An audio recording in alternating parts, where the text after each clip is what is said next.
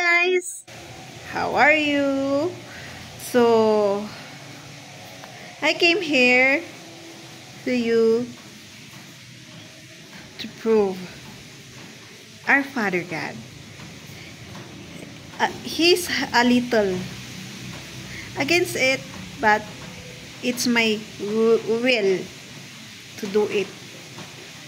Then, he said to me, okay, well, I'm here to say that if you believe or not, yes, He is. So, did you observe that some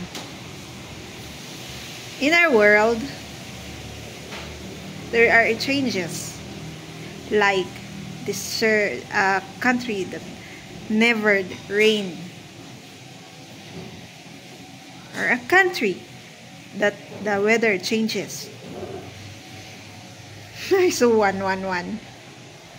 Because I have told you God came down to save me to save us. To for my fellow divines that gives information is information to save us to what we become became. Not to just like the revelation not to destroy anything but to save us if you don't want to save yourself for your becoming self, it's up to you. But I know there's a lot who is willing there. Like me.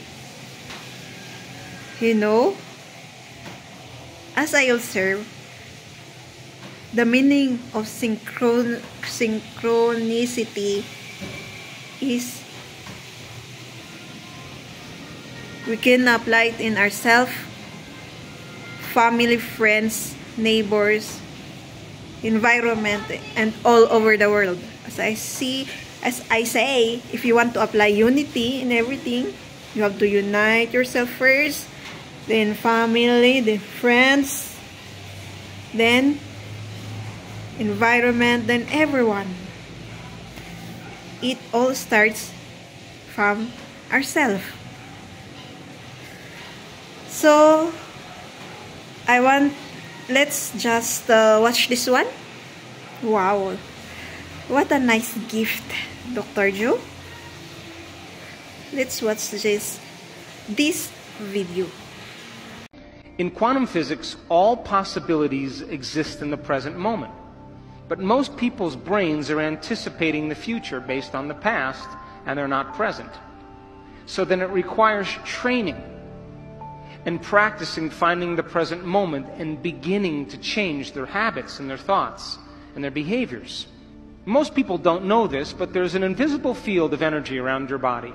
And when you react to someone or something, you draw from this invisible field and you turn it into chemistry. And the field around your body shrinks. And now you're more matter and less energy. You're more particle and less wave. And most people then when you are matter trying to change matter, you always try to force the outcome. You try to control the outcome. You try to predict the outcome. And people then get competitive, or they hold on, or they manipulate, or they cheat, or they steal, because that's the only way they can get what they want. But the quantum model of reality, when you are truly in the present moment, when a person begins to open their heart and they can begin to sustain a elevated emotion. They begin to broaden the magnetic field around their body to nine meters wide. Now they're more energy than matter. They're more wave than particle. And they can exert better effects on reality. So then think of when you open your heart, this is science, like dropping a pebble in water. You produce a ripple. If you drop a bigger stone, you produce a bigger ripple. If you're able to sustain that state, you keep dropping the same rock over and over again and you broadcast a signature into the field. The emotion is the magnetic charge.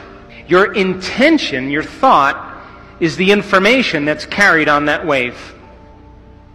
And when you combine a clear intention with an elevated emotion, you begin to produce an effect on matter. You see, the thoughts that you think are the electrical charge in the quantum field. The feelings that you emote are the magnetic charge in the quantum field. And how you think and how you feel broadcasts an electromagnetic signature that influences every single atom in your life. The thought sends the signal out, and the feeling draws the event back. So if you're walking around your life feeling sorry for yourself and feeling like a victim, you are broadcasting that signature into the field. And you will create more experiences to suffer. Because we are not punished for our sins. We are punished by our sins. And sin is an attitude. And sin is how you think and how you feel. So then, when you cause people to give up their guilt and their shame and their unworthiness and teach them how to open their heart and create coherent waves in their brain and in their heart, they are going to produce the miraculous. It takes training, and it takes practice, and it takes learning new information and deprogramming ourselves into believing that we're limited but if you're living by the hormones of stress and you have no energy, no field, then you can't produce an effect on matter. So then, life is about the management of energy. And where you place your attention is where you place your energy. And if your attention is on the knowns and in the predictable future, or your attention is on the familiar emotions of the past, you are siphoning energy out of the present moment and you have no energy to create with. And when you're able to do this and practice it really well, you will begin to do what's innately your birthright, and that is to create an unknown or wonderful experience in your life. So it just takes practice in order to do it. Wow. The way he explains it in science, wow. It's a nice gift. He that's that's his gift in explaining it through science. So, me, it's all possible to God. Because I never practice. I never. I'm just doing my thing. We're just doing our thing. But this one came to me. This test and everything came and you look you look the information that I'm giving you that is all came from him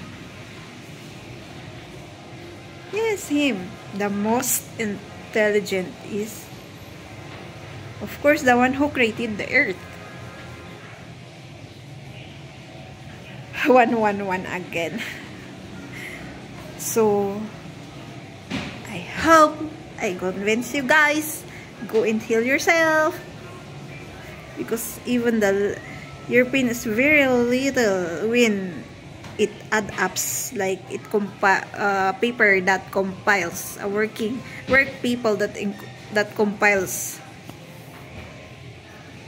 Then later on it will be big.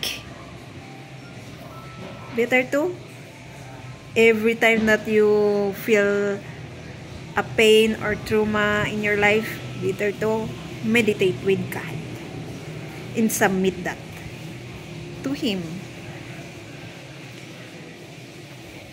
I think that's enough statement again Thank you guys. Don't forget to subscribe, click the bell notification, comment if you want, and share. In my next videos.